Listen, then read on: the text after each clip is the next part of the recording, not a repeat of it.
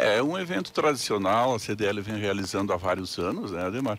E o café é em homenagem ao Dia da Mulher, que é o Dia Internacional da Mulher, dia 8 de março. É, a Mas, data é comemorada no dia 8. Isso. Mas em função de que é, fica muito próximo ao, ao carnaval, né? É, nós então achamos por bem, é, em vez do dia 8, comemorarmos no dia 12. Então, na próxima terça-feira após o carnaval, porque o dia 8 é na sexta-feira, né? Uhum. Então, ficaria muito é, curto espaço até para a organização, para convites, para, para, enfim, para organizar o café. E nós temos, assim, é, no ano passado tivemos uma participação bastante grande de mulheres, né? Nós tivemos mais de 150 mulheres que participaram do café da manhã da, do Dia Internacional da Mulher do, da CDL. E esse ano a gente espera até um número superior, Ademar.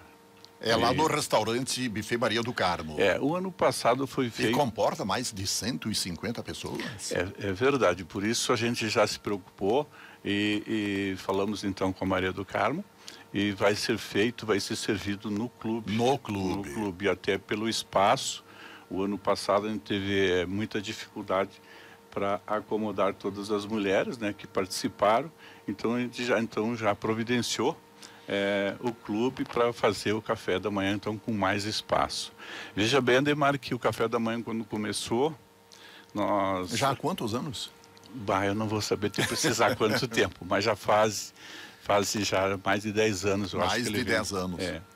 E o primeiro café da manhã foi realizado na sede da CDL com a participação de umas 20 e poucas mulheres. O segundo ano já foi para 40 e poucas. Lá na sede da lá CDL. Lá na sede da CDL.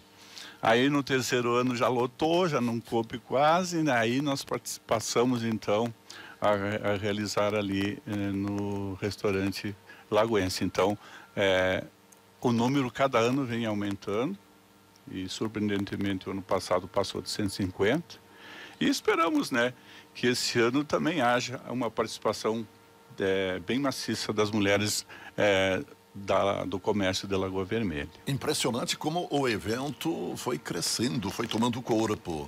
É, é verdade, a gente fica muito feliz com isso, Ademar, porque quando você realiza algum evento de qualquer forma, tu gosta sempre que tenha participação. E quantas mais participarem, para a gente melhor ainda.